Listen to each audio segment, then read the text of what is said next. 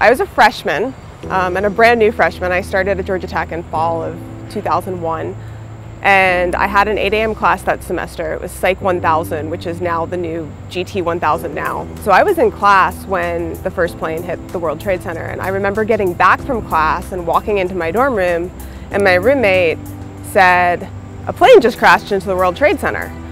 And I thought, oh, well, that's a terrible aviation accident. And I went off and you know took a shower and had breakfast and whatever and came back and she said, and a second one just hit the other tower and they think it's a terrorist attack. And then it was not too long after that that one hit the Pentagon and everybody started to realize that there was something going on. We didn't have a TV in our dorm room. There was one in the common room down the hall and the whole floor was kind of in there watching. For a while there just wasn't a lot of new information. There was a lot of uncertainty and a lot of not, not new information. But not too long after the second plane hit, they canceled classes. I think we were all a little confused of why this thing that was happening in New York made them cancel classes in Atlanta. It was probably days before we really got a handle on what had happened and the scope and the magnitude of what had happened. And I remember trying to get in touch with my friend in New York and you just couldn't. You, just, you couldn't get in touch with anyone. It sort of went from a lot of uncertainty to a lot of worry and, and fear about, oh my gosh, we're going to go have a war now, and, and what does that even mean to have a war against a terrorist organization instead of a nation, and what does that look like, and are they going to draft me?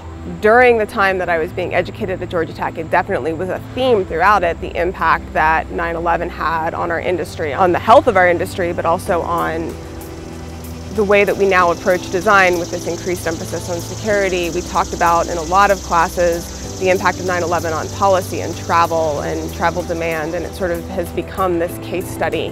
When I go to the airport every single time, right, the, the new security protocols that have changed continuously since 9-11 but they've never gone back to what they were pre 9-11. That's where you really see it the most. There's probably a parallel to thinking about what Pearl Harbor is to us. Every time you learn history, you learn about it as this turning point in so many ways. And I think 9-11 is going to have the same kind of impact because it, it had such a dramatic shift on the way we lived, on the way we handled foreign policy, on, on the way that we handled defense. I mean, so many things changed as a result of it.